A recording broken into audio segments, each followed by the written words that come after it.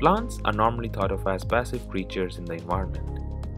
Contrary to this, they can not only sense what's happening around them, but also respond and display naturally. In our digital and physical interfaces, these are the two essential elements to complete an interaction loop. Through Cyborg Botany, we power some of our digital functions with the natural abilities of plants themselves. We envision such a bridge between the plants and the digital world to be bidirectional and deeply integrated. To explore this, we adopted an approach to move the electronics from outside to inside the plants. We keep a plant in a water-soluble polymer ProDot that grows a single conductive channel inside a plant. We connected this internal wire to sampling instrumentation turning a plant into an antenna or an inconspicuous sensor to detect motion and more.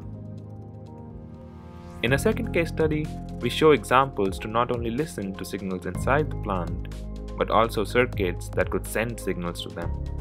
We designed a live view software in which clicking on a leaf sends it a corresponding signal. When a user clicks in the software, the corresponding leaf is closed, essentially turning the plant into a display.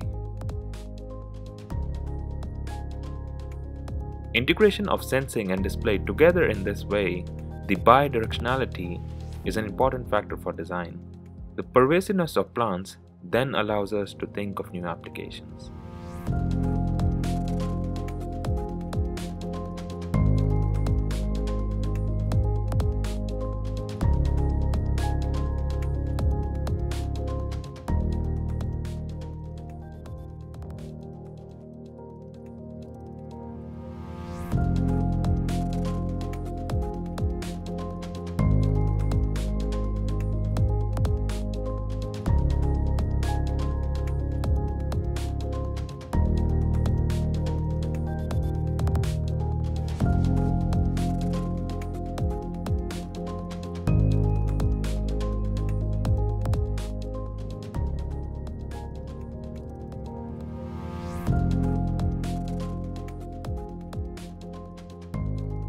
Plants are self-repairing, self-regenerating organisms available at scale.